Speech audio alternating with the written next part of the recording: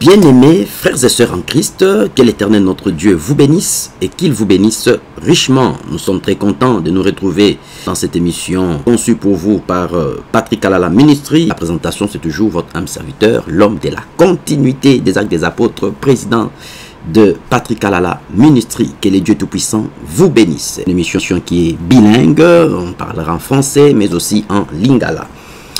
L'émission s'intitule, comme vous l'avez remarqué sur votre écran, Le parcours d'un orphelin. Désormais, mes frères et sœurs, vous suivrez cette émission sur euh, notre chaîne YouTube Patrick Alala Ministry dans le but d'édifier, d'affecter, d'encourager et d'orienter cette catégorie de personnes appelées orphelins.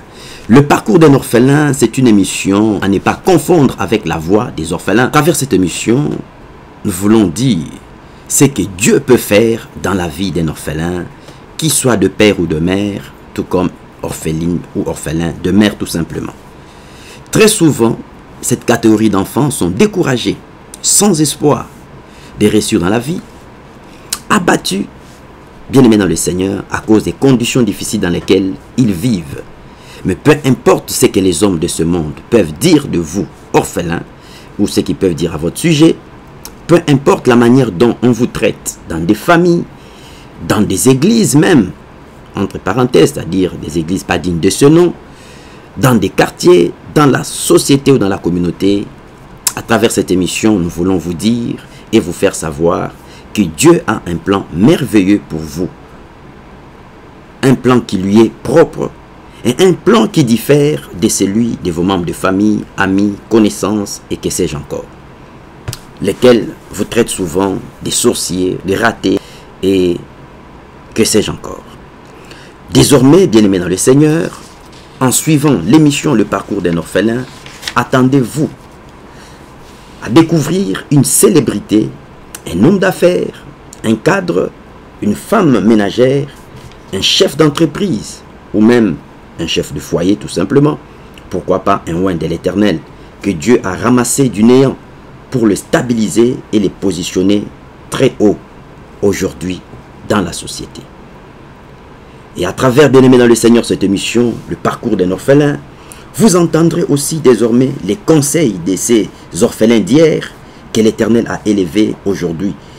Et cela se passera dans la rubrique coaching d'un orphelin béni des dieux. Donc la rubrique des conseils sera intitulée Conseil d'un orphelin béni des dieux. Et enfin, mes bien-aimés dans le Seigneur, nous allons devoir faire le briefing de ces coachings que nous aura proposé, n'est-ce pas, l'orphelin du jour. C'est ainsi que suivra la clôture de l'émission. Et nous ne manquerons pas d'inviter tous ceux et toutes celles qui se retrouvent aussi bénis d'une manière ou d'une autre, dans une cadre tout comme dans une autre, que nous n'avions peut-être pas mentionné n'est-ce pas, le long de notre présentation de l'émission. Ils pourront également nous envoyer leur historique, leur vie, leur parcours. Ça peut être visuel tout comme audio. Ils peuvent s'afficher tout comme garder l'anonymat. Mais l'essentiel, c'est d'édifier un orphelin, d'édifier une orpheline, de le coacher en lui orientant la voie à suivre pour qu'il soit également un homme fait de demain.